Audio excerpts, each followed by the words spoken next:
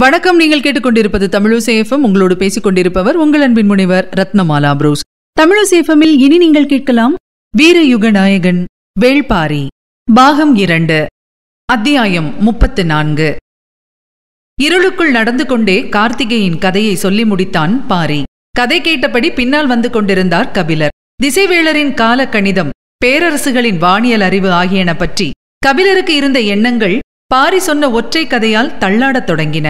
நான்கு ஆண்டுக்கு ஒருமுறை வரும் ஒளிவாளினை இவ்வளவு துல்லியமாக கணித்து வைத்திருக்கும் போதே மலை மக்களின் வானியல் அறிவை புரிந்து கொள்ள கூடுதலாக முயன்றிருக்க வேண்டும் என தோன்றியது. பேச்சற்று வந்து கொண்டிருந்த கபிலரை பார்த்து பாரி முருகன் கார்த்திகை விண்மீன் கூட்டத்துக்கு பெயர் சூட்டிய கதையை மட்டும்தானே சொல்லியுள்ளேன். இன்னும் எவ்வளவோ இருக்கின்றனவே என்றான். இன்னும் எவ்வளவோ என்றால் முருகனைப் பற்றியா? விண்மீன்களைப் பற்றியா? காலத்தைப் பற்றி.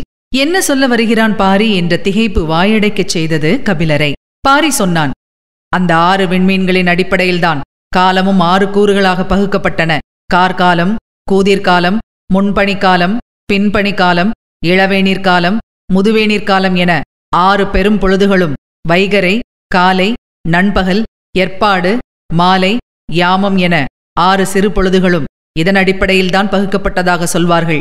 இருள் சூழ்ந்துள்ள ஒற்றையடி பாதையில் பின்னால் வருகிறவர். சிறு ஓசை கூட எழுப்பாமல் வரக்கூடாது என்பது கபிலருக்கு தெரியும். ஆனால் தெரிந்தவையெல்லாம் தெரியாதவற்றின் பின்புலத்தில் போய் மறைகின்றன. பின்னணி கதைகள் காலத்தையே புரட்டுகின்றன. கபிலர் என்ன செய்வார்? மனம் புரண்டு எழுந்து உண்மையை பற்ற நினைத்த போது குறுக்கிட்ட கதை. அது உண்மையா என்ற கேள்வியை எழுப்பியது. திகைத்து நின்றவரிடம் புதிதாய் வினா ஒன்று மேலெழுந்தது. வேளிர்குலத் தலைவன் உருவாக்கியதால்தான் பொழுதை அறிய வேளை என்ற சொல்லை பயன்படுத்துகிறோமா? காலை வேளை மாலை வேளை என அழைப்பதன் காரணம் அதுதானா?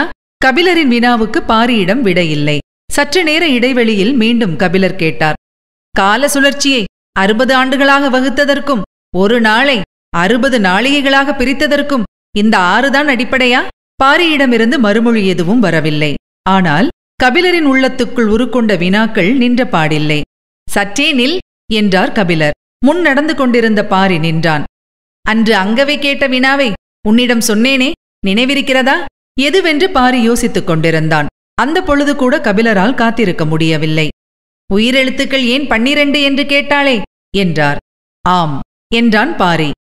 உயிரெழுத்துக்கள் பன்னிரண்டு மெய்யெழுத்துக்கள் பதினெட்டு எல்லாம் ஆறின் மடங்குகளாகவே இருப்பது அதனால்தானா ஆறு என்ற அச்சின் மீதுதான். எம் மொழி நிலை கொண்டுள்ளதா? ஆறு என்பது எண்ணாகவும் நதியாகவும் மொழியாகவும் காலமாகவும் விரிவு கொண்டதா என கேள்விகளை அடுக்கிக் கொண்டே போனார் கபிலர். அமைதியாய் நின்ற பாரி சொன்னான். இந்த வினாக்களுக்கு விடை கூற வேண்டியவர் நீங்கள்தானே? என்னிடம் கேட்கிறீர்கள்? விடையை யாரும் சொல்லிவிடலாம். வினாக்கள் உருத்திரள்வதுதான் முக்கியம். பரம்பின் மீது ஏறத் தொடங்கியதிலிருந்து நான் முக்கியமாக கண்டடைந்தது விடையை அல்ல வினாவைத்தான். பெரும் உண்மைகள் எளிய கேள்விகளுக்குள் தலை நுழைத்துதான் வெளிவருகின்றன. கபிலர் கேள்விகளுக்குள் தலை நுழைத்துக் கொண்டிருந்தார். காலத்தைப் பற்றி வேறென்ன சொல்ல வந்தாய்? முருகன் அளவுக்கு இயற்கையின் ஒவ்வொரு அசைவையும் நுட்பத்தையும் புரிந்து கொண்ட இன்னொரு தலைவன் இல்லை. முருகனோடு இரண்டு பறவைகளைப் பற்றிய கதைகளை இணைத்தே மக்கள் சொல்வர் கேட்டிருக்கிறீர்களா? நான் கேள்விப்பட்ட கதைகள் எல்லாம் இங்கு தலைகீழாக மாறிவிடுகிறதே. நீ எந்த பறவைகளை சொல்கிறாய்? சேவலையும் மயிலையும் தான். இந்த பறவைகளுக்கும் காலத்துக்கும் இருக்கும் உறவை பற்றி கபிலர் சிந்தித்துக் கொண்டிருந்த போது பாரி சொன்னான் சேவல் கதிரவன் விரும்பி செந்நிற ஒளியின் முதல் கீற்று வானில் மேலெழத் தொடங்கியவுடன் குதூகலித்து கொக்கரிக்கத் தொடங்கிவிடும். அதன் மகிழ்வுக்கு அளவு ஏதுமில்லை. அதே போலத்தான் மயிலும். அது மழை விரும்பி கார்மேகங்கள் கூடத் தொடங்கியதும் குதூகலிக்கத் தொடங்கும். இறகு விரித்து தனது மகிழ்வை கொண்டாடும். நெருப்பும் நீரும் போலத்தான் கார்த்திகையின் இன்னொரு குறியீடு இவை இரண்டும். சேவலின் கொக்கரிப்பையும் மயிலின் தோகை விரிப்பையும் கார்த்திகையோடு இணைத்து பாரி சொன்ன கணத்தில் உடல் சிலிர்த்து அடங்கியது. காலத்தின் எதிரெதிர் முனைகளை வைத்துத்தான் முருகனைப் பற்றிய எல்லா கதைகளும் பின்னப்பட்டுள்ளன என தோன்றிய போதே அறுபதாம் கோழியின் நினைவு வந்தது. முருகனுக்கு மிகவும் பிடித்தது அறுபதாம் கோழி என்றுதானே பரம்பு மக்கள் சொன்னார்கள்? இளஞ்சிரிப்பு மாறாமல் பாரி சொன்னான். சேவலும் மயிலும் காலத்தின் குறியீடு என்றால் அறுபதாம் கோழி காதலின் குறியீடு. அது முழுநிலா நாளில் வானம் பார்த்து தனது மெல்லிய குரல் கொண்டு ஒலி எழுப்பும். சேவல் போல தனது அலகு திறந்து கூவாது. மூடிய வாயின் முணுமுணுப்பாய் வெளிவரும் இசை வண்டுகளின் ரீங்காரம் போல மெல்லொலி எழுப்பும். வள்ளியும் முருகனும் நரந்தம் புள்ளி நடுமேட்டில் இருந்த காலமெல்லாம் காற்றில் மிதந்த ஓசை அதனுடையதுதான். அந்த ஓசை காதலர்கள் உயிர் சுருண்டு ஓருடல் கொள்ள வழி செய்யும். கார்காலமும் வேணிற்காலமும் இணைந்ததன் அடையாளமாக கார்த்திகை இருப்பதைப் போல ஆணும் பெண்ணும் இணைந்த காதல் அடையாளம்தான் அறுபதாங்கோழி ஒரு வகையில் எரியும் நீரும் குளிரும் நெருப்பும் தான் அதுவும். காலத்தையும் காதலையும் வைத்து வள்ளியுடன் நடத்திய விளையாட்டு வள்ளி முருகனைப் பற்றிய எல்லா கதைகளிலும் நிகழும் போலும் என்றார் கபிலர். காலத்துடனும் காதலுடனும் விளையாடி பார்க்க விருப்பமில்லா மனிதன் யார்? மனிதனின் அடிப்படையான விருப்பம். இவை இரண்டும் தானே? அதனால் தான் எல்லோருக்கும் இந்த விளையாட்டு பிடித்திருக்கிறது. அதை விளையாடி தீர்த்த வள்ளி முருகனையும் பிடித்திருக்கிறது. வள்ளி முருகனின் கதையை அசை போடுதல் காலத்தையும் காதலையும் மறுபடி நிகழ்த்தி பார்த்தல் போலத்தான். அந்த நிகழ்வு மனதுக்குள் நிகழும்போது வெளிப்பேச்சுக்கு வேலை என்ன? பாரியும் கபிலரும் இருவேறு உலகுக்குள் நீந்தியபடி நடந்து சென்றனர். இருளி நடத்தி குறையத் தொடங்கியது. மழை நின்ற இரவு கிழக்கே மேலெழும் புத்துளிக்காக காத்திருந்தது. பறவைகளின் குரலொலி கேட்டபடி இருவரும் நடந்தனர். நீண்ட நேரம் கழித்து கபிலர் கேட்டார் முருகன் கண்டறிந்தவை வேறு என்னென்ன? நிறைய இருக்கின்றன. ஆனால் சொல்ல முடியாதவைகளாக இருக்கின்றன. என்னிடம் சொல்ல முடியாதவையா? ஆம். தம் குலம் அல்லாதவர்களுடன் பகிர்ந்து கொள்ள முடியாதவை. குலங்களில் நிறைய உண்டல்லவா? நீண்ட நேரம் கழித்து கதைகளிலிருந்து மீண்டு தன் நிலைக்கு வந்தார் கபிலர். எவ்வளவு ஒன்றினாலும் விலக வேண்டிய இடம் உண்டு என்பதை உணரும் நேரம் சற்றே கடுமையானது. ஆனாலும் அவை குறித்து நீங்கள் ஏற்கனவே கேள்வி எழுப்பிவிட்டீர்கள். உங்களது கேள்வியால் திகைத்துப் போய் நின்றது அன்றுதான் என்றான் பாரி. எதை சொல்கிறான் பாரி என யோசித்துக் கொண்டிருந்தார் கபிலர். பாரி சொன்னான் ஒளிவாளினை பார்க்க குன்றுக்கு மேல் உங்களை நான் அழைத்துச் சென்றபோது நீங்கள் கேள்வி ஒன்று கேட்டீர்கள். கபிலர் சிந்தித்தபடியே சொன்னார் பாளி நகர் பற்றி கேட்டேன். அங்கு வேளிர்களின் செல்வங்கள் பாதுகாத்து வைக்கப்பட்டுள்ளனவா என்று கேட்டேன். பாரி சொன்னான். குமரிக்கடல் முதல் வடதிசையின் எல்லை வரை இருக்கும் இந்த பச்சைமலை தொடரில் இருப்பவர்கள் ஈரேழு பதினான்கு வேளிர்கள். இந்த வேளிர் கூட்டம் தங்களுக்கு கிடைக்கும் பெரும் செல்வம் எதுவானாலும் அதை பாளி நகரில் வைத்து பாதுகாக்க வேண்டும் என்று முன்னோர்கள் விதி செய்தனர். அந்த பாளி நகரை உருவாக்கியவன் முருகன். தான் அன்று கேட்ட வினாவுக்கு இன்று பாரியிடமிருந்து விடை வந்தது. அந்நகரை வேளிர் மட்டுமே அறிவர் என கேள்விப்பட்டுள்ளேன். ஆம் என்றான் பாரி. பிறரால் அறிய முடியாத நகரம் மண்ணில் எப்படி இருக்க முடியும்? மண்ணின் மேல் இருக்க முடியாது மண்ணுக்குள் இருக்க முடியும் அல்லவா? கபிலர் மிரண்டு நின்றார். பாரி சொன்னான் அது மண்ணுக்குள் வடிவமைக்கப்பட்ட அமைப்புகளை கொண்டது. அங்குதான் ஆதிகாலம் தொட்டு வேளிர்களின் செல்வங்கள் அதாவது பச்சை மலையின் வியத்தகு செல்வங்கள் சேகரிக்கப்பட்டு வருகின்றன. அந்த பாழிநகரை பாதுகாக்கும் பொறுப்பை எவ்வியிடம் ஒப்படைத்தான் முருகன். அன்றிலிருந்து பரம்பின் மக்கள் அதை பாதுகாத்து வருகிறார்கள். மற்ற வேளிர்கள் அந்த இடத்துக்கு வந்து செல்கின்றனரா? ஆம் பாதுகாப்பது மட்டும்தான் எங்களின் பணி. மற்ற அனைத்து வேளிர்களுக்கும் அந்த இடம் எங்கு இருக்கிறது என்ற உண்மை தெரியும். எவ்வியூரிலிருந்து மலைப்பாதையின் வழியே போனால் பாலிநகர் போய்விடலாம் என்று நீ சொன்னாயே? கபிலர் முடிப்பதற்குள் பாரி சொன்னான். அது வெளித்தோற்றத்துக்காக நாங்கள் அமைத்துள்ள சிறு பாழிக்கான பாதை. பெரும்பாழி இருக்கும் இடம் வேறொன்று. முடிச்சூடு நின்றது பாரியின் மறுமொழி. இதை நேரடியாக கேட்க முடியாது. ஆனால் கேட்காமல் இருக்கவும் முடியாது. என்ன செய்யலாம் என்று சிந்தித்தபடியே கபிலர் கேட்டார். மலைப்பகுதியில் மண்ணுள் இருக்கும் ஓர் இடத்தை எல்லா காலங்களிலும் பாதுகாத்து விட முடியுமா? கால ஓட்டத்தில் எளிதில் அழிந்து விடாதா? எவ்வளவு நிதானத்துடனும் கூர்மையுடனும் கபிலர் பாலி நகரை நெருங்குகிறார் என்பதை பாரி கவனித்தபடியே சொன்னான். அந்த நகரை இப்போது மட்டுமல்ல இன்னும் எத்தனை ஆயிரம் ஆண்டுகளானாலும் மண்ணுள் எவ்வளவு ஆழம் புதைந்தாலும் வேளிர் குலத்தவரால் கண்டுபிடித்து விட முடியும். எப்படி கேட்பது? பாரிக்கு இக்கட்டான நிலையை உருவாக்கிவிடும் என்று கபிலருக்கு தோன்றியது. ஆனால் கேட்காமல் இருப்பது உருவாகும் எண்ணத்தை மறைக்கும் செயல். மறைக்க முயல்வது தோழமை அன்று என்று எண்ணியபடியே கபிலர் சொன்னார். எப்படி என்பதை நீ வெளிப்படுத்த தேவையில்லை. கபிலரின் சொல்லாற்றல் கண்டு வியந்து நின்றான் பாரி. எவ்வளவு திறனோடு என்னை முன்னகர்த்தி அவர் பின் வருகிறார் என்று எண்ணியபடியே பாரி சொன்னான். அந்த நகருக்கான அடையாளங்களை உருவாக்கியவன் முருகன். அந்த அடையாளங்கள் மண்ணில் இருந்தால் அவை கால ஓட்டத்தில் மறைந்து போகலாம். விண்ணிலிருந்தால் பாரியின் வினா கபிலரை இழுத்து நிறுத்தியது. பாரி தொடர்ந்தான். இன்னும் எத்தனை ஆயிரம் ஆண்டுகளானாலும் விண்மீன்களின் இருப்பிடங்கள் மாறவா போகின்றன? இல்லை.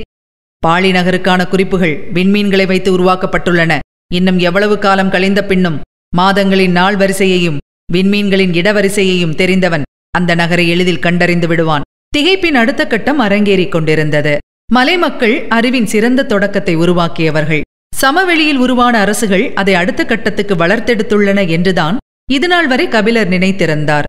ஆனால் வளர்ச்சி என்ற பெயரில் தொலைந்து போனவையே அபார ஆற்றல் கொண்டவையாக இருக்கின்றன. விண்மீன்களை வைத்து திசை அடையாளங்களையும் நேர அடையாளங்களையும் தான் கணியர்கள் உருவாக்கியுள்ளனர். ஆனால் இங்கோ விண்மீன்களை வைத்து நிலம் அடையாளப்படுத்தப்படுகிறது. அறிவு வளர்ச்சியின் ஆதி விதைகள் இங்கு பாதுகாத்து வைக்கப்பட்டுள்ளன. கபிலரின் எண்ண ஓட்டங்களை இடைமறித்து பாரி சொன்னான். முதுவேநீர் காலத்தில் கார்த்திகை விண்மீன் கூட்டத்தோடு கதிரவன் இருப்பதை விண்மீன்களின் சுழல்வட்ட கணக்கின் அடிப்படையில் முருகன் கண்டறிந்தான் என சொன்னேன் அல்லவா? ஆம் என தலையசைத்தார் கபிலர். அவ்வாறின்றி வேறொரு முறையில் தான் அதை முருகன் கண்டறிந்தான் என சொல்பவர்களும் உண்டு. அது என்ன முறை? பாரி சற்றே அமைதி கொண்டு நடந்தான். சொல்லலாமா? என்ற வினாவை எழுப்பி மனதை விடை சொல்ல ஆயத்தம் செய்கிறான் என்பது கபிலருக்கு புரிந்தது. பாரி சொன்னான் இம்மலைத்தொடரில் உள்ள பத்து பேரதிசயங்களில் ஒன்று கருநெல்லி. கபிலர் பாரி உச்சரிக்கும் வார்த்தையை மிக கவனமாக கேட்டார். பாரி சொன்னான் அதிசயக்கணியான கருநெல்லியை உண்டால் பகலிலும் விண்மீன் கூட்டத்தை பார்க்கலாம் என்ற நம்பிக்கை எங்களுக்கு உண்டு. முருகனுக்கு நெல்லிக்கனி மிகவும் பிடித்தது. அவன் கருநெல்லி உண்டுதான். பகலில் விண்மீன் நகர்வை பார்த்தறிந்தான் என்று குலநாகினிகள் கதை சொல்லி நான் கேட்டிருக்கிறேன். கபிலர் திகைப்பிலிருந்து மீள வழியில்லாமல் இருந்தார். எண்ணங்கள் கட்டுக்கடங்காமல் ஓடின. மேலேறிய கதிரவனின் ஒளி காடெங்கும் நிலை கொண்டிருந்த இருளை மஞ்சள் நிற ஆடை கொண்டு போத்தி பிடித்துக் கொண்டிருந்தது. முன்னால் சென்று கொண்டிருந்த பாரி பாறை இடுக்கின் வழியே உள்நுழைந்து மறைந்தான். அதற்குள் உள்ளே மறைந்து விட்டானே அவ்வளவு அடர்ந்த இடுக்கு பாதையா இது? என்று நினைத்தபடியே கவனமாக கால் தூக்கி வைத்து உள்நுழைந்தார் கபிலர். இருள் சூழ்ந்த பாதை நீண்டிருந்தது. சற்று தொலைவு நடந்தான் பாரி. பெரும் பாறை ஒன்று பாதையில் குறுக்கே நிற்பது தெரிந்தது. அதன் பின்புறம் இருந்து காலை கதிரவனின் ஒளி தெரித்து சிதறிக் கொண்டிருந்தது. எத்தனை முறை பார்த்தாலும் இருளுக்குள் பாய்ந்து நுழையும் ஒளிக்கதிருக்கு இணை சொல்ல எதுவும் இல்லை என நினைத்தபடியே பாறையின் அருகில் வந்து முன்புறம் திரும்பினார் கபிலர். திருப்பத்தில் தான் எல்லாம் இருந்தன. இணை சொல்ல முடியாதவை என்ற சொல்லின் முழுமையை இயற்கை அவருக்கு காண்பித்தது. வட்ட வடிவ பசுங்குடுவையைப் போல் கண்ணுக்கெதிரே பறந்து விரிந்த புல்வெளி. இரு கைக்கொண்டு அணைத்து பிடித்தபடி சுற்றி கிடக்கும் மலைக்குன்றுகள். கதிரவனின் ஒளி பொழியத் தொடங்கும்போது கலையத் தொடங்கிய இணை பறவைகளின் ஓசை. காற்றெங்கும் மிதந்த நரந்தம் புல்லின் மனம். உறைந்து நின்றார் கபிலர். சற்றே விலகி நின்று அவர் முகம் பார்த்து மகிழ்ந்தான் பாரி. கார்காலத்தின் முதுமழை கொட்டத் தொடங்கியது. இன்னும் சில நாட்களில் அடைமழை தொடங்கும். மழைநீரின் கனம் தாங்காமல் இலையும் இரவின் குளிர் தாங்காமல் மலையும் நடுங்கியபடி இருக்கப் போகின்றன. கபிலருக்கு எலிமயிர் போர்வை நெய்யும் பணி முடியப் போகிறது. தப்பிச் செல்ல முடியா பேரெலியின் மயிர்த்தோல் கொண்டு தொல்புலவன் போத்தப்பட இருக்கிறான். அந்த நாளுக்காக காத்திருந்தனர் எல்லோரும். கபிலரின் மனமோ? நரந்தம்புல் மேட்டிலும் கார்த்திகையின் கணக்குகளிலும் மொழியின் புதிர்களிலும் போய் மாட்டி நின்றது. அவற்றின் ஆழம் வசப்படவில்லை. எனவே அதிலிருந்து மீள முடியவில்லை. நீலன் தனைமயக்கி மூலிகை கொடுத்து கதையை மறக்க வைத்தான். பாரியோ கதையை சொல்லி மீதமுள்ள எல்லாவற்றையும் மறக்க வைத்தான். மறதிக்கும் நினைவுக்கும் நடுவில் பெரும் வேட்டையை தன்னந்தனியாக நடத்தி கொண்டிருந்தார் கபிலர். மீள முடியா அந்த மனநிலையோடுதான் பிள்ளைகளுக்கு பாடம் நடத்தினார். அங்கவையின் வினாக்கள் வழக்கம் போல் அறிதலின் வழியேதான் இருந்தன. மற்றவர்களும் ஆர்வமுடன் பாடம் பயின்றனர். மயிலா புறப்பட வேண்டிய நாள் வந்துவிட்டது. அவள் நீலனை பார்க்காமல் நீண்ட நாள் விலகியிருந்தது இப்போதுதான். ஆனாலும் தனது பெயரையும் நீலனின் பெயரையும் அவள் எழுத கற்றிருந்தாள். அது அளவற்ற மகிழ்வை உருவாக்கியிருந்தது. அவனின் ரகசியம் ஒன்று தனக்குள் அடங்கிவிட்டதாக அவள் நினைத்தாள். தனது விரல்களின் வழியே நீளும் கோடுகளுக்குள் அடங்கிய அவனை நினைத்து மகிழ்ந்தாள். வேட்டூர் பழையனோடு சேர்ந்து அவள் புறப்படுவதாகத்தான் முடிவு செய்திருந்தனர். ஆனால் தேக்கன் இன்னும் சில நாட்கள் பழையனை இருக்க சொல்லிவிட்டார். அதனால் வீரர்கள் சிலருடன் மயிலா மட்டும் எவ்வியூர் விட்டு புறப்பட்டாள். அவளின் முகத்தில் இருந்த மகிழ்ச்சியின் வழியே கபிலர் நீலனை பார்த்து கொண்டிருந்தார். குன்றுகளுக்கு இடையிலாடும் மூஞ்சல் அவரின் பார்வைக்கு தெரிந்தது. ஐந்தாண்டுகளுக்கு ஒருமுறை பூக்கும் சாமப்பூ அரும்பிவிடத் தொடங்கியிருந்தது. தேக்கன் புதிய மாணவர்களை அழைத்துக் கொண்டு காடறிய புறப்பட வேண்டிய காலம் வந்துவிட்டது. அதனால்தான் சில செய்திகளை பேசுவதற்கு வேட்டூர் பழையனை இருக்க சொல்லியிருந்தார் தேக்கன். தென்திசை தளபதி கூழையன் அனுப்பும் தகவல்கள் பரம்புக்கான ஆபத்து நெருங்குவதை சொல்லிக்கொண்டே இருந்தன. கோளூர் சாத்தனின் கைகளை முடியன் வெட்டியதால் சேரக்குடிகள் ஒன்று சேர நாம் வழிவகுத்து விட்டோம். பாண்டியனையும் சோழனையும் போல தொலைவில் இருப்பவர்கள் அல்ல சேரர்கள். மலைத்தொடரின் அடுத்த குன்றில் அவர்களது காலடி கிடக்கிறது. சேரர்குடி இருவரும் இணைந்து பரம்பு நோக்கி படைகள் வருவதற்கு ஒரு சில குன்றுகளில் பாதை அமைத்து வருகின்றனர். நாம் மிகுந்த கவனத்தோடு இருக்க வேண்டிய நேரம். இந்த செய்திகள் வந்த பிறகுதான் பேரலி வேட்டைக்கு பாரி ஏன் தொடர்ந்து வந்தான் என்பது தெரிய வந்தது. பேரலி அதிகம் இருக்கும் இடங்களை விட்டுவிட்டு மலைகளின் பல திசை வழியாக ஏன் பயணப்பட வைத்தான் என்றும் இப்போதுதான் புரிந்தது. சேரர்கள் எந்தெந்த குன்றுகளின் வழியே நுழைந்து பாதை உருவாக்க முயல்கின்றனர் என்று பாரி சொன்னதாக தேக்கன் சொன்னபோது உதிரன் உறைந்து போனான். கழுகின் மூக்கை போன்றது பாரியின் கவனிப்பு. கழுகு வானுச்சியில் பறந்தாலும் நிலத்தில் கிடக்கும் பறவையின் வாடையை எளிதில் நுகர்ந்துவிடும். அதுபோலத்தான் பாரியும். எவ்வியூரில் இருந்தாலும் பரம்புமலையின் எண் திசையிலும் நிகழும் மாற்றங்களை துல்லியமாக கவனித்து வந்தான். கூளையன் அனுப்பிய செய்தியும் பாரியின் அவதானிப்பும் ஒன்று போல இருந்தன.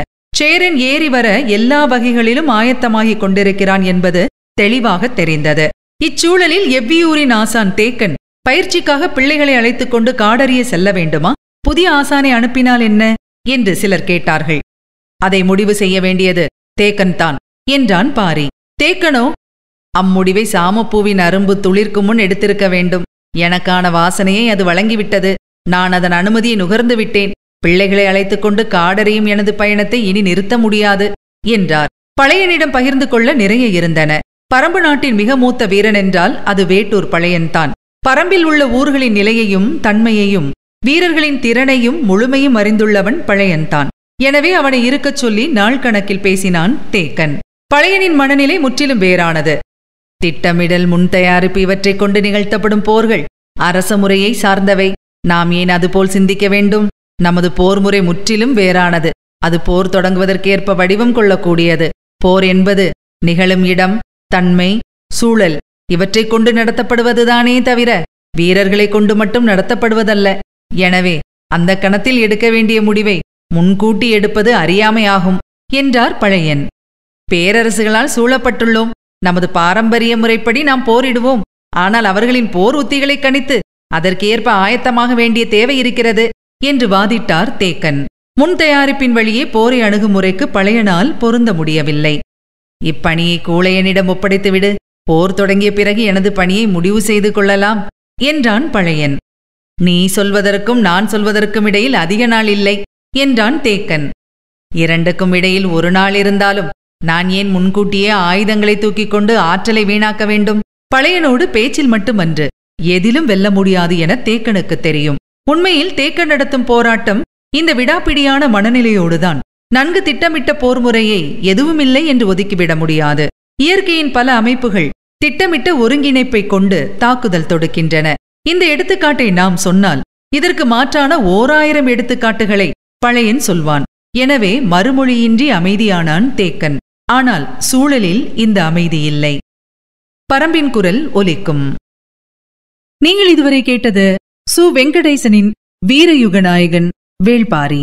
வழங்கியவர் உங்கள் அன்பின் முனைவர் ரத்னமாலா புரூஸ். மீண்டும் அடுத்த அத்தியாயத்தில் சந்திக்கலாம். தொடர்ந்து இணைந்திருங்கள். இது உங்கள் தமிழோசை எஃப்எம் இது எட்டு திக்கும் எதிரொலிக்கட்டும்.